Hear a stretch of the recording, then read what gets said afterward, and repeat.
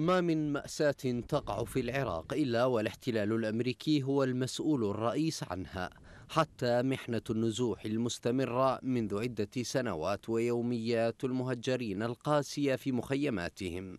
أحد هذه المخيمات الكيلو 18 في محافظة الأنبار الذي يعيش قاطنوه أوضاعا صعبة من كل النواحي. وضعية التعبانة بشكل تعبان خدمات لا اكو خدمات لا اكو مي لا اكو آه شو اسمه مساعدات.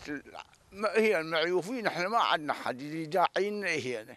والله وضعيتنا صيط فد مرة لا مي لا كهرباء لا غيرها لا هاي لا ذيش لا شغل. يعني فد مرة واقعين على الحديد. والله ما يصير هالعمل هذا. شوفوا لنا صورة حل. انعدام الخدمات ورداءة المسكن اعتاد عليها قاطنو المخيم لكن مأساتهم الحالية تكمن في انعدام المساعدات التي هم بأمس الحاجة إليها ولا سيما في شهر رمضان المبارك.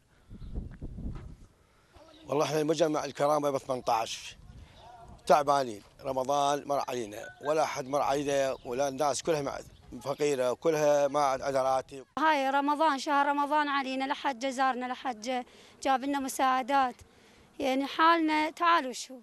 يؤكد قاطنو المخيم أن الحكومة تتجاهلهم وكأنهم موتى منسيون. دفنوا في هذا المخيم منذ عدة سنوات وتركوا وحدهم هنا. شلون الواحد يذبونه بالمقبرة؟ ما حد لا يروح عليه ولا يجي عليه. صار تقريبا ثلاث سنوات مذبوبين في المكان هذا.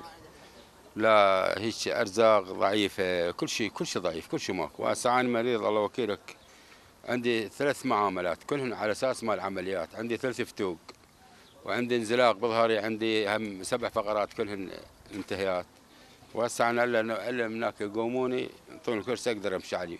غير الكرسي ما أقدر أمشي. في العراق لا اختلاف بين مخيم وآخر المعاناة بأدق تفاصيلها واحدة.